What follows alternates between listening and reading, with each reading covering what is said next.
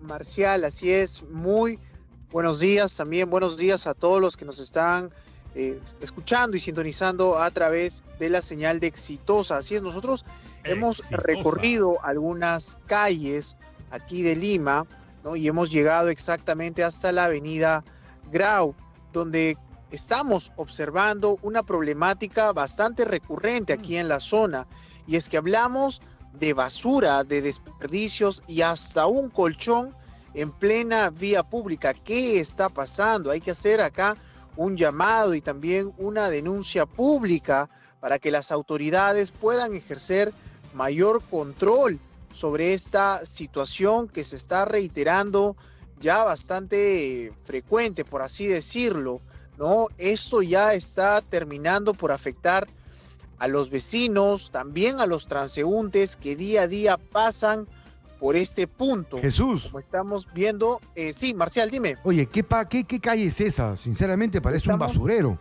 Estamos en la avenida Grau. ¿Avenida qué cuadra? Estamos a la altura de la cuadra 4 aproximadamente. eso está cerca al centro mismo de Lima, ¿no es cierto? Así es, y como estamos observando, Marcial, también eh, se registra hasta un colchón en plena vía pública, justo en la vereda. Hay que hacer llamado al alcalde. Señor alcalde, Rafael, despierta. Hay un colchón tirado en la calle, está el colchón. Ese colchón es para gordito, seguramente ha sido el alcalde, lo ha tirado, se ha desesperado, está molesto, porque le han criticado su nueva piscina. Jesús Ortiz, tienes que decirle al alcalde, alcalde.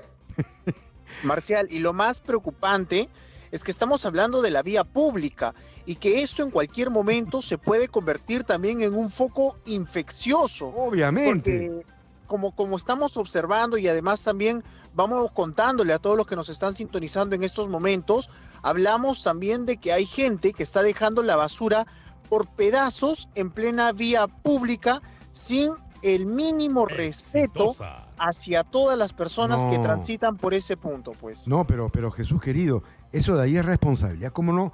O sea, eh, ¿qué, hace? ¿Cómo es posible que Lima esté así tan cochina? Mira, eso es pichi.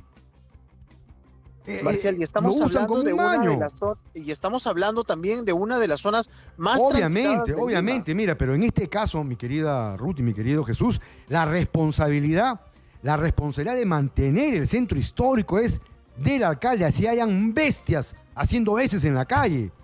O sea, no puedo justificar que un alcalde, mira, un alcalde en gestión pública, serenazgo, recojo de residuos sólidos, si no cumples con eso, alcalde, por favor, vota, vota, vota a tu gerente de medio ambiente, vota a tu gerente de resguardo de Lima. Tienes que votarlos o tú vas a pagar los platos rotos, alcalde. Levanta tu colchón, cochino.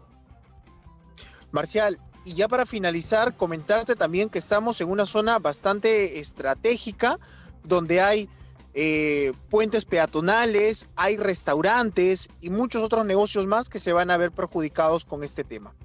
Ciertamente, me molesta, mi querido Jesús. Gracias, Jesús Ortiz. Has debutado, te, dije toro.